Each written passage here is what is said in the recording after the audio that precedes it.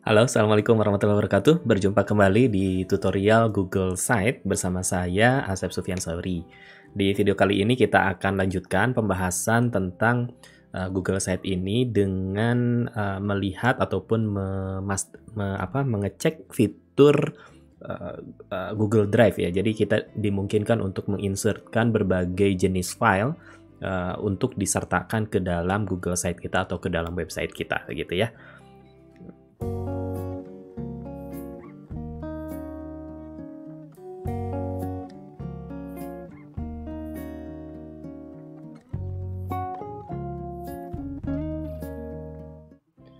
Nah, jadi teman-teman seperti biasa, siapkan dulu projectnya atau website ataupun Google Site yang sudah dibuat. Lalu kemudian uh, siapkan sebuah halaman misalkan ya yang ya yang yang sudah disiapkan tentunya begitu ya. Uh, halamannya boleh yang sudah ada ataupun yang masih kosong. Nah, uh, pengaturannya intinya ada di insert ya sekali lagi. Jadi dimungkinkan si Google Site ini untuk menambahkan berbagai jenis file ya bisa berupa video, gambar, teks dan lain sebagainya. Nah, di sini ada hal uh, apa ada namanya adalah drive ya.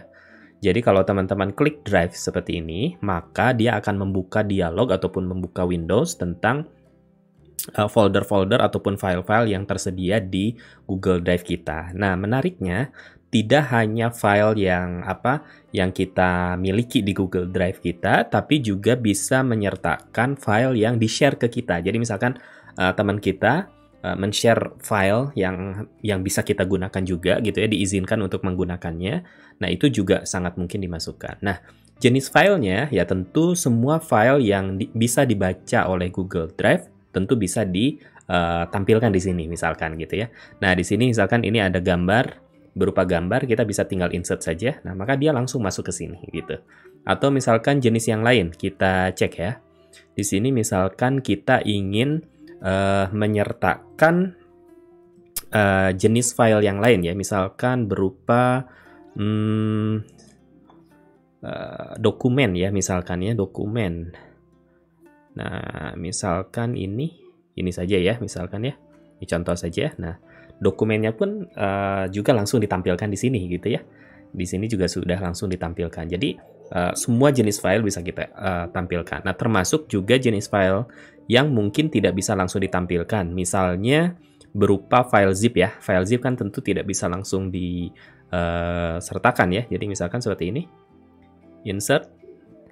Nah, maka untuk file yang sifatnya itu tidak bisa di embed gitu ya, tidak bisa ditampilkan, uh, biasanya dia tidak bisa uh, apa menampilkannya gitu. Jadi uh, pastikan formatnya uh, video, audio, uh, gambar, dokumen, presentasi dan sebagainya gitu ya yang didukung. Tapi kalau yang sifatnya itu zip, kemudian file-file yang uh, tidak umum ya, tidak tidak dikenali oleh si Google Drive-nya tentu tidak bisa ditampilkan di uh, website ini begitu. Jadi uh, ini akan sangat efisien. Selama ini kita kalau mau membuat website itu kan uh, kita setting hostingnya, kemudian untuk gambarnya kita siapkan direktori khusus, bahkan sebetulnya gambarnya sudah ada di Google Drive sebetulnya. Nah kalau ini semua file itu bisa di kita plot semuanya di Google Drive, gambar vid, uh, gambar video mungkin bisa di YouTube lah gitu ya, uh, karena ukurannya besar. Jadi misalkan gambar, dokumen, uh, kalender dan lain sebagainya kita tidak usah lagi menyiapkan satu storage ataupun uh, penyimpanan khusus.